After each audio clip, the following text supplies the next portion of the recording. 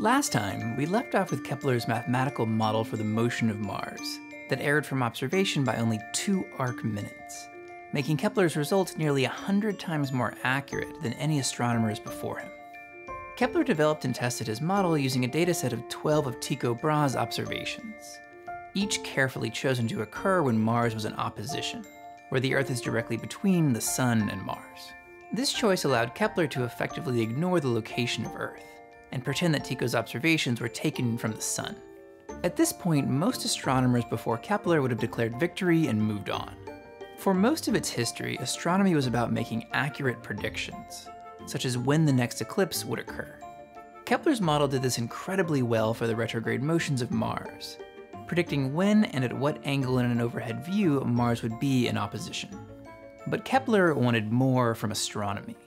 It's difficult to imagine today but for most of the history of science, astronomy and physics were completely separate disciplines. No one was really concerned with why the planets in Ptolemy's model moved in epicycles. It was enough that Ptolemy's model made reliable predictions, and the reasons why the heavens moved the way they did were left to philosophy and theology. Kepler not only believed that he could figure out exactly how the planets moved through space, but why the planets moved as they did. This is what makes Kepler such a powerful figure in the history of science. The writer Arthur Koestler says that Kepler's new approach after Tycho's death was as if a new species had arisen on the planet. Kepler knew there was more than one way to look at his equant-based model of the motion of Mars. The most obvious was to look at it from a side view instead of an overhead view. Tycho's observations captured not only the longitude of Mars as seen in an overhead view, but also the latitude, which is the angle above or below the plane of the Earth's orbit around the Sun. Unlike Mars' longitude values, Kepler could not assume that Mars' latitude values were the same as seen from the Earth and the Sun. Kepler realized that he could use this fact to check the distance he had initially computed between the Sun and the center of Mars' orbit. The orbit of Mars is slightly tilted relative to Earth's orbit. Taking the value Kepler knew for this tilt and Tycho's observed latitude for the 1585 opposition, Kepler was able to construct this triangle, and compute all of its angles. The base of the triangle is the distance between the Sun and Earth, which Kepler had an upper and lower estimate for, again thanks to Tycho's observations. Using the law of sines, Kepler was able to compute an upper and lower estimate for the distance between the Sun and Mars at the 1585 opposition. Now Kepler added in Tycho's 1593 observation, which falls close to the opposite side of Mars' orbit. Using the same law of sines math, Kepler again computed the distance between the Sun and Mars. Kepler found the center of Mars' orbit by dividing the distance between his two observations by 2, and finally computed the distance between the Sun and the orbit center. After normalizing his result to match his longitude calculations, he computed that the distance should be between 0.08 and 0.09943. However, his carefully tuned overhead longitude-based method yielded a distance of 0.11332, a worst case error of around 40%. This was a huge problem. Kepler noticed that his newly computed sun-centered distance put the center of Mars' orbit approximately at the midpoint between the Sun and equant, just as Ptolemy had in his model 1500 years before. Questioning if Ptolemy actually had it right all along, Kepler made this change to his model, returned to his overhead view, and recomputed his longitudes. His astounding 2 minutes of arc error now jumped to 8 minutes. 8 minutes of arc, or 0.13 degrees, is still an incredibly small error. It's about the thickness of four index cards held at arm's length. But Kepler knew that Tycho's observations had an accuracy of around 2 arc minutes, and refused to accept this model. Kepler ends chapter 19 of Astronomia Nova with a powerful prediction. Now, because they could not be ignored, these 8 minutes alone will have led the way to the reformation of all of astronomy, and have become the material for a great part of the present work. With Tycho out of the picture, Kepler was now free to rebuild astronomy from the ground up. Dissatisfied with purely mathematical descriptions of the cosmos, Kepler was on a mission to reunite astronomy and physics. What caused the planets to move as they did? Kepler believed deeply and intuitively that the sun was the source of the movement of the planets. Grasping for some mechanism that would allow the sun to magically exert force at such large distances, Kepler landed on magnetism as the driving force of the planet's motion around the sun. Newton's theory of gravity was still 80 years away, and in fact, Newton would draw heavily on Kepler's work. Kepler postulated that the magnetic driving force of the Sun would become weaker the further a planet was from the Sun. This would explain the uneven speed of Mars in a completely different and more physical way than Ptolemy's abstract idea of the equant. The closer Mars was to the Sun on its orbit, the faster the Sun would push it along. Mathematically, Kepler made the velocity of Mars inversely proportional to its distance to the Sun. While this theory was nice physically, it meant that the velocity of Mars was always changing, making it a nightmare computationally. With calculus not quite yet discovered, Kepler resorted to breaking planetary motions into lots of little triangles, and assuming constant velocity for each. In doing this, Kepler noticed that the time it took a planet to transverse the base of one of his triangles was proportional to the area of the triangle.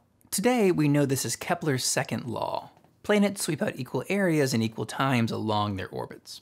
However, to Kepler in 1602, this was still completely a hunch based on the faulty assumption that the sun magnetically forced the planets around their orbits, and that this magnetic force was inversely proportional to distance. After laboriously showing that his method worked well for the orbit of the Earth around the Sun, Kepler returned to the orbit of Mars. Kepler now had a completely new method, the equal area approach, for computing the location of Mars at a given time. How would this new approach compare to Tycho's incredibly accurate observations? Instead of comparing directly to observation, Kepler cleverly used his highly accurate but incorrect model from earlier as a baseline. As long as he was only using the overhead view, he knew the maximum error of this model relative to Tycho's observations would be only 2 arc minutes. Comparing to his earlier model allowed Kepler to quickly gauge the accuracy of the equal area approach at any angle. At an angle of 90 degrees, the equal area approach fared well, yielding an error of only 24 arc seconds. While at 45 degrees, Kepler's equal area approach moved the planet too quickly, and at 135 degrees too slowly, each with an error of around 8 arc minutes. Given that Kepler had basically made up the equal area method out of thin air by assuming the sun was a big magnet, an error of just 8 arc minutes is an incredibly impressive result. But not for Kepler. He immediately went deeper and used this error to launch a final attack on the most firmly held belief in astronomy since the time of the ancients that the planets move in perfect circles.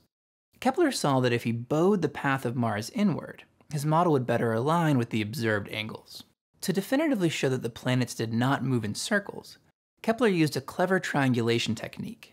Every 687 days, Mars arrives at the same location on its orbit.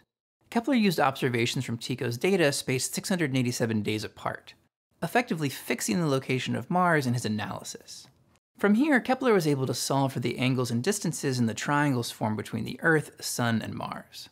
Using multiple observations with the Earth in different positions allowed Kepler to make his overall model more consistent. Using multiple sets of these fixed Mars observations, Kepler was able to show that the path of Mars did indeed bow inwards, and officially rejected the circle. Abandoning thousands of years of astronomical tradition left Kepler with more questions than answers. Circles are not only nice aesthetically, but very straightforward mathematically. Kepler spent the next year of his life pursuing an ingenious solution to revolutionize astronomy the egg. Kepler knew that the true path of Mars bowed inward from a circle. After rejecting the circle in chapter 44 of Astronomia Nova, Kepler declares that the path of Mars must be some sort of oval. The problem with the oval is that there's no single mathematically precise definition. Many mathematical techniques can be used to create ovalist shapes.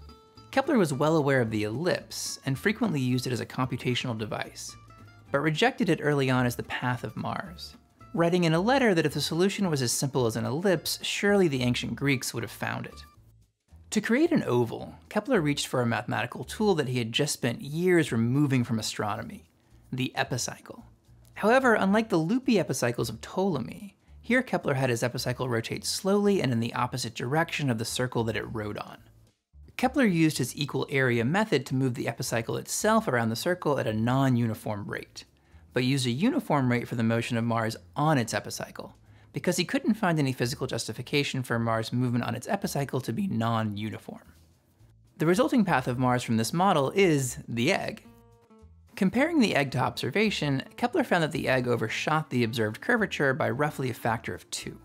The egg was difficult to work with mathematically and could not be easily adjusted, and Kepler found himself going in circles, recomputing the distance to the sun, trying again and again to make his model work. After a difficult year of financial troubles, health issues, and a fruitless battle with the egg, Kepler by pure chance bumped into a number that would change the future of astronomy and science. 0.00429. 0.00429 is the maximum width of the gap between a perfect circular orbit and Kepler's triangulated curve for the path of Mars. In a separate line of investigation, Kepler had studied an angle that he called the optical equation. In Kepler's egg model and Ptolemy's famous equant model, the Sun is not at the center of Mars' orbit. The optical equation is the angle formed between the line from Mars to the center of its orbit and the line from Mars to the Sun. Kepler noticed that the optical equation reached a maximum value of 5.3 degrees, when the angle between Mars and the Sun reached 90. By pure chance, Kepler noticed that the secant, or 1 over the cosine of this angle, is 1.00429, or exactly 1 plus the gap between the observed path of Mars and the circle. At this point, Kepler wrote that he felt he'd been awakened from a sleep. Kepler saw that if he modified his epicycle egg model, to make the distance between Mars and the Sun proportional to the secant of the optical equation, his model would match Tycho's observations. In his full epicycle model, this is equivalent to projecting the position of Mars on its epicycle onto the line between the center of the epicycle and the Sun. This gives the distance between the Sun and Mars, but not the final location of Mars. To find the final location of the planet, this distance should be swung over to intersect the horizontal line between the original position of Mars and the vertical. Kepler didn't realize it yet, but after four long years since Tycho had assigned him to work on Mars, and after throwing out almost all of traditional astronomy, he had found the answer. The intersection of this arc and line trace out a perfect ellipse. By far the most accurate model of the path of Mars constructed by any human up until that point. However, in one final plot twist, Kepler bungled the construction he took the intersection of the arc and the line between the center of the circle and the original position of Mars instead of the horizontal line. This choice results in an oddly shaped oval that did not match observations well. Frustrated, Kepler threw out his entire numerical epiphany in favor of what he thought was a new idea an ellipse. Only in constructing his new ellipse did he finally realize that he had already discovered it. In his summary of this chapter in Astronomia Nova, Kepler writes that he subconsciously repaired his own error. Kepler showed us, arguably for the first time, what it really looks like to do modern science. Instead of having philosophical debates on how nature should work, Tycho and Kepler turned to methodical observation and messy experimentation. 80 years after Kepler discovered the ellipse, Isaac Newton would publish the theory of gravity in his Principia. When the book was recorded by the Royal Society, it was introduced as a mathematical demonstration of the Copernican hypothesis as proposed by Kepler. As Stephen Hawking writes, it was Kepler's third law and not an apple that led Isaac Newton to discover the law of gravitation. There's this amazingly clear path from Tycho's observations to Kepler's experimentation to Newton's laws that really is the blueprint for modern science. Richard Feynman captures this really nicely in his lecture on gravitation. It's hard to exaggerate the importance of the effect on the history of science produced by this great success of the theory of gravitation. Compare the confusion, lack of confidence, the incomplete knowledge that prevailed in the earlier ages, when there were endless debates and paradoxes, with the clarity and simplicity of this law.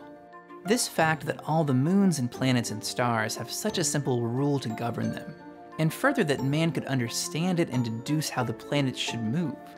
This is the reason for the success of the sciences in the following years, for it gave hope that the other phenomena of the world might also have such beautifully simple laws.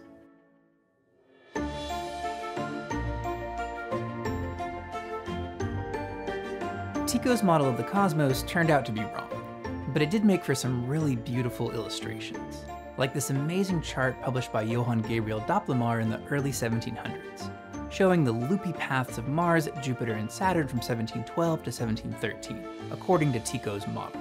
You can find original printings from the 1700s for sale online. I really want one, but they're a little pricey. I was able to find and purchase a copyright-free super high-res image, which I've made into a poster available for purchase at the link below. I slightly modified the proportions to fit nicely into a standard 13 by 15 inch frame. In my research for this video, I also came across this incredibly intricate illustration of the Tychonic model. It's from this insane 1660 book called Harmonia Macrocosmica. often described as the most beautiful celestial atlas ever published. There's an original copy for sale on Abe Books right now for just $375,000. But not to worry, shipping is only $14.50. You can buy a poster version of this illustration at the link below. I also modified this one ever so slightly to fit into a standard 13 by 16 inch frame.